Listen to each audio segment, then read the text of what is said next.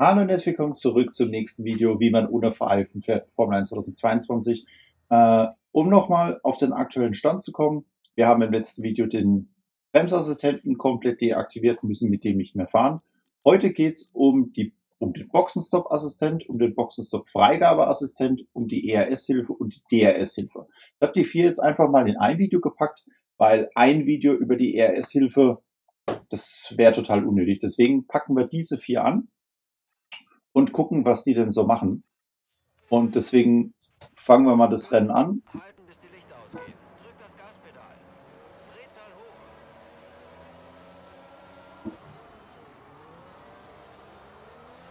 Es ist krass, wie man mit eingeschalteten Pfeifen einfach Vollgas geben kann. Wir haben den Bremsassistent wieder aus, aber wir lassen die jetzt auch mal einigermaßen vorbei. Ja, wenn wir jetzt rechts unten auf unser MFA schauen, sehen wir beim ERS-Einsatz, dass da Auto steht. Das heißt, das Spiel wird für uns das ERS managen. Also das schaltet urplötzlich auf Überholen oder äh, also gibt uns Zugriff auf das volle ERS, was wir nicht beeinflussen können. Das heißt, wir fahren einfach unser Ding, müssen uns um das ERS-Management so gesagt keine Gedanken machen ähm, aber ihr seht es vielleicht schon auch am Hintermann, der mich hier gerade angreift. Der hat wahrscheinlich aus der Kurve heraus ERS eingesetzt, um mich anzugreifen. Auch hier.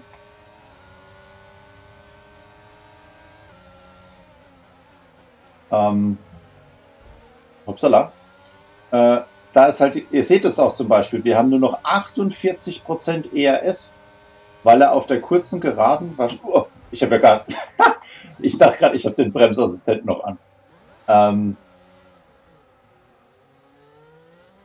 wir benutzen mal kurz eine Rückblende, weil ich sonst die anderen Sachen nicht zeigen kann. Ähm, und wir haben halt nur noch 45 Prozent. In einer Runde haben wir schon über 50 Prozent verbraucht. Jetzt gucken wir gleich mal unten auf Start und Ziel. Da wird er wahrscheinlich uns wieder alles rausballern.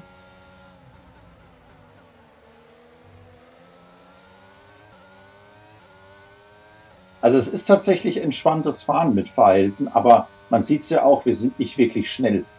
Und gegen menschliche Fahrer, jetzt sieht man es zum Beispiel auch 33, 32, 31. Gerade eben hat er wieder ganz viel ERS rausgehauen, wofür es, also es war eigentlich unnötig, dass er das ERS rausgehauen hat. Aber ihr seht jetzt schon vielleicht den Nachteil am ERS, äh, an der ERS-Fahrhilfe.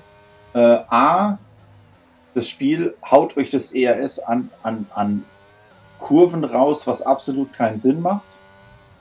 Ihr könnt euer ERS nicht einsparen, ihr könnt nicht taktisch fahren. Also diese Hilfe macht ein, einfach absolut keinen Sinn. Und deswegen stellen wir die jetzt aus, um direkt den Vergleich zu sehen. So.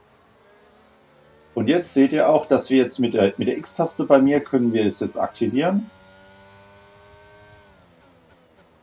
Das heißt, hier zum Beispiel können wir kurz aktivieren, um aus der Kurve rauszufahren, können es aber direkt wieder deaktivieren, um nicht so viel zu verbrauchen.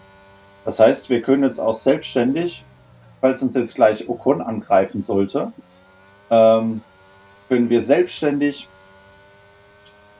ERS drücken oder nicht drücken, um uns dementsprechend zu verteidigen. Oder wenn wir jetzt da vorne zu Magnussen fahren wollen, wie jetzt, gebe jetzt kurz ERS aus, gehe wieder runter, um Richtung DRS-Fenster zu kommen. Ich will euch ja auch noch die DRS-Hilfe zeigen. Jetzt auch jetzt zum Beispiel bei ERS Auto würde der jetzt alles rausballern. Aber wir heben natürlich noch ein bisschen ERS auf, weil es sind noch äh, zwei Runden und wir wollen ja noch ein bisschen was haben. Also die Hilfe würde ich auch als einer der ersten auf jeden Fall umschalten um dementsprechend, ähm, ja, um dementsprechend selber das Management machen zu können und einfach selber euer Rennen, eure Manöver und so weiter einteilen zu können. So, jetzt lassen wir den Ocon mal vorbei, denn jetzt gehen wir zur DRS-Hilfe. Die DRS-Hilfe aktiviert euch automatisch das DRS, wenn ihr am Messpunkt seid. DRS kriegt ihr immer, wenn ihr innerhalb einer Sekunde des Vordermanns seid. Wie hier zum Beispiel. Hier ist die Linie. So, und jetzt, ich drücke nichts. Und jetzt seht ihr unten, ist es aktiviert. Also die DRS-Hilfe ist eine Hilfe, wenn ihr euch, wenn ihr vielleicht die Strecken noch nicht so gut kennt äh, oder ihr euch die Zonen einfach nicht merken könnt, nenne ich es jetzt einfach mal, ähm, um da vielleicht dementsprechend dem entgegenzuwirken. Aber ich finde, es gibt auf jeder Strecke vielleicht maximal drei DRS-Zonen. Die Strecken kennt man irgendwann. Und in vielen Ligen wird diese Hilfe auch nicht erlaubt, weil man halt einfach selber drauf achten muss. Auch hier wieder, ich drücke nichts und es ist angeschaltet. Das heißt, wir machen das gleiche Spiel wieder, gehen in unsere Fahrhilfen, machen die DRS-Hilfe aus. Bleiben jetzt mal hinter Ocon, weil da vorne gibt es wieder eine DRS-Linie. Das heißt, ihr seid innerhalb der einen Sekunde Ihr fahrt zum DRS-Bereich und dann müsst ihr selbstständig. Jetzt ist es nicht aktiviert, ihr seht es unten und jetzt drücke ich die Taste und es ist aktiviert. Das ist dann dementsprechend die DRS-Hilfe. Und jetzt schauen wir uns dann am Ende der Runde noch die Boxenstopp-Hilfen an. Ich kann es immer wieder sagen, es ist faszinierend, wie man mit Fahrhilfen fahren kann. Und ich verstehe auch, dass man als Casual oder jemand, der nicht viel Zeit hat, einfach so fährt. Es ist sicher, das Auto liegt auf der Straße. Mit ABS zum Beispiel könnt ihr euch voll in die Kurve reinbremsen. Es passiert überhaupt nichts. Jetzt habe ich wieder auf den Knopf gedrückt. Ich kann auch wieder auf den Knopf drücken, um es zu deaktivieren. Seht ihr unten. Also wenn ihr zum Beispiel in der DS-Geraden hinter einem seid und ihr wollt ihn gar nicht angreifen oder ihr wollt taktisch hinter ihm bleiben, könnt ihr natürlich auch das DS einfach wieder ausschalten. Ihr müsst es ja nicht anlassen.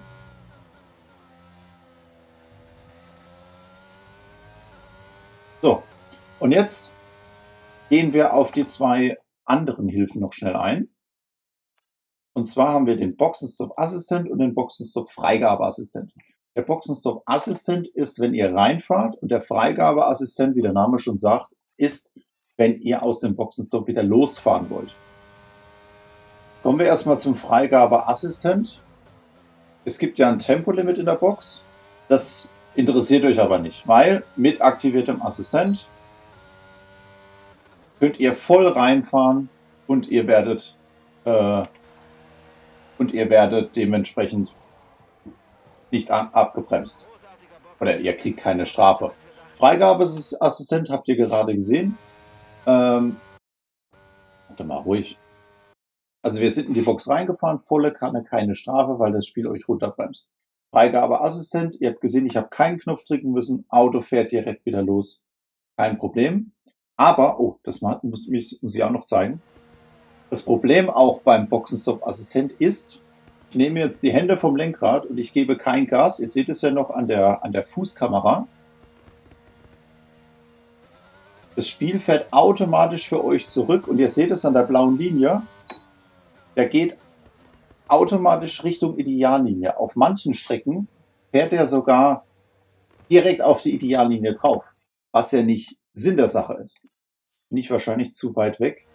Ja, okay. Welche Runde bin ich? Fünf, okay, dann müssen wir jetzt neu starten. So, das war jetzt vielleicht ein komischer Schnitt, aber es sind ein paar Sachen im Spiel passiert, die wollte ich jetzt nicht drin lassen. Wir haben jetzt gerade eben gesehen, der Freigabeassistent drosselt euch in die Box runter. Der Freigabeassistent gibt euch dementsprechend äh, auch keine Kontrolle beim Boxenstopp selber. Jetzt gehen wir in die Verhilfen und schalten beides natürlich aus. Was passiert nun? Das heißt, wir machen das Praxisbeispiel wieder. Ihr entscheidet euch in die Box zu gehen. Und ihr habt Oh. Und ihr habt dementsprechend oben gesehen direkt eine 3 Sekunden Strafe. Jetzt gehen wir zum Boxenstopp. Der Freigabeassistent ist ja auch deaktiviert. Ich drücke nichts. Und es passiert auch nichts. Das heißt, ihr müsst schalten und Gas geben und loslassen. Also das ist der Freigabeassistent, dass ihr halt auf jeden Fall irgendwas drücken müsst, um loszufahren. Und der Boxenstopp-Assistent ist die Einfahrt inklusive Tempolimit und, und das ist das Wichtige, auch die Ausfahrt. Und ihr müsst den Boxenstopp-Limiter rausmachen, so wie natürlich bei der Einfahrt wieder reinmachen. Guck mal, ob ich da noch hinkomme.